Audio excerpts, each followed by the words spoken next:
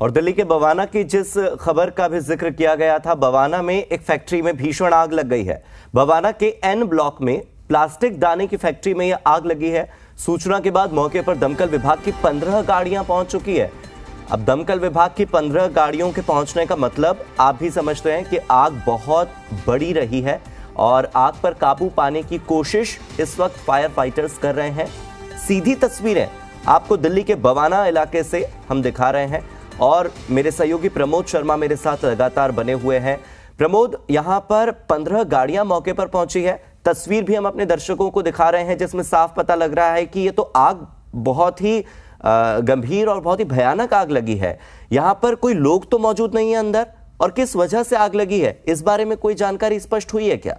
देखिए, अभी तक इस बात की जानकारी नहीं मिल पाई है कि आग लगने के कारण क्या थे, लेकिन आठ बज के इक्यावन मिनट पर फायर ब्रिगेड को एक कॉल मिली थी कि बवाना इंडस्ट्रियल एरिया में एक फैक्ट्री में आग लगी है तो तुरंत गाड़ियों को भेजा गया। कुल पंद्रह गाड़ियाँ इस वक्त जो है फायर फाइटिंग में लगी हुई है और प्लास्टिक का दाना बनाने की ये फैक्ट्री थी और प्लास्टिक की होने की वजह से जो है आग एकदम से काफ़ी तेज़ी से पूरी फैक्ट्री में फैली है। फ़िलहाल सुबह का वक्त था तो अभी तक कि किसी के फंसे होने की अभी तक तो कोई जानकारी नहीं आई है, लेकिन अभी जो है फायर फाइटिंग का काम जारी है। आग पे काबू पाने की कोशिश की जा रही है, जिसके बाद ही वजह साफ़ हो पाएगी कि कहीं कोई अंदर तो नहीं फंसा हुआ था। लेकिन आठ बज के इक्यावन मिनट पे कॉल मिलने का पंद्रह गाड़ियों को अभी लगाया गया है।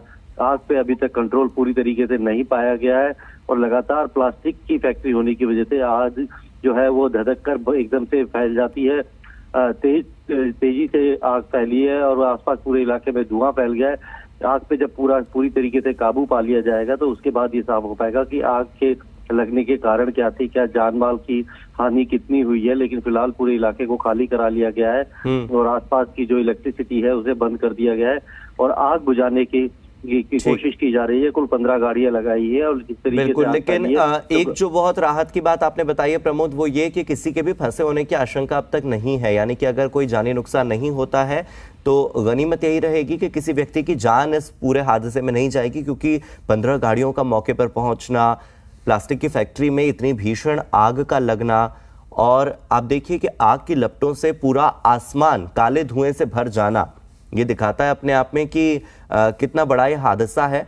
और फिर प्लास्टिक दाने की फैक्ट्री है तो जो आग लग रही है उसका धुआँ भी इतना ज़्यादा काला इतना ज़्यादा प्रदूषण से भरा है कि आसपास रहने वाले लोगों को दूर दूर तक रहने वाले लोगों को भी मानकर चलिए कि सांस लेने में तो दिक्कत बहुत हो रही होगी, क्योंकि प्लास्टिक जब जलता है तो पॉल्यूशन बहुत ज़्यादा फैलता है। और ये वही पॉल्यूशन, ये वही प्रदूषण नज़र आ रहा है और बहुत ही भीषण आग यहाँ पर लगी है।